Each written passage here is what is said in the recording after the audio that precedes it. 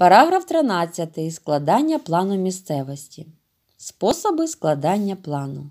Для складання плану використовують окомірне знімання місцевості. Цей спосіб досить простий і скористатися ним може навіть школяр. Його застосовують тоді, коли немає потреби дуже точно вимірювати напрямки, відстані і висоти. Їх визначають на око. Є два види окомірного знімання полярне і маршрутне. Окомірне полярне знімання це складання плану місцевості з однієї обраної точки, яку прийнято називати полюсом. Окомірне маршрутне знімання це складання плану місцевості, рухаючись за певним маршрутом. Щоб скласти план невеликої ділянки місцевості власноруч, потрібні нескладні інструменти планшет, компас, лінійка, шпилька, олівець, аркуш паперу ліпше в клітинку. Планшет це прямокутна дошка, може бути фанера, на яку прилаштовують аркуш паперу і закріплюють у верхньому куті компас. На місцевості визначають місце, точку, з якого буде добре видно всю ділянку. З цієї точки проводять вимірювання. На аркуші паперу точку свого розташування позначають за допомогою шпильки. Далі потрібно підготувати планшет. Компас кріплять так, щоб уявна лінія, яка з'єднує поділки 0 і 180 на його шкалі, розміщувалася паралельно краю планшета. На аркуші у верхньому лівому куті проводять лінію північ-південь і вказують стрілкою напрямок на північ.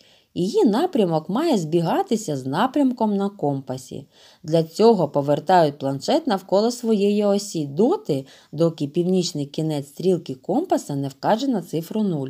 Тобто, поки стрілка не збігатиметься з напрямком північ-південь на аркуші паперу. Потім обирають для плану масштаб і записують його на аркуші. Для нанесення об'єктів полярним способом на планшеті розташовують лінійку так, щоб одним своїм кінцем вона торкалася шпильки, а іншим була спрямована на той бік об'єкт, будинок, дерево, кущ, який слід позначати на плані. За допомогою лінійки олівцем проводять лінію. Потім визначають відстань до кожного предмета. Цю відстань відкладають на проведеній лінії в обраному масштабі.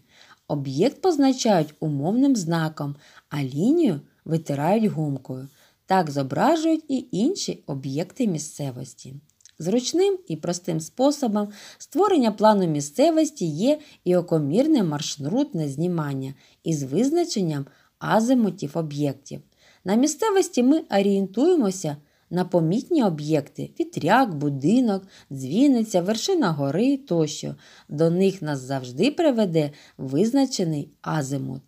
Відстані між точками визначають за часом, витраченим на ходьбу або кроками. Накреслений шлях матиме вигляд ламаної лінії, яка складатиметься з кількох відрізків. Для чого потрібні плани? План місцевості надійний помічник людини.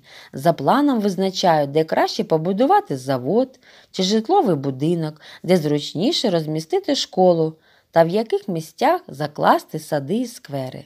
Перед тим, як провести лінії електропередачі, прокласти дороги і трубопроводи, ці об'єкти намічають на планах.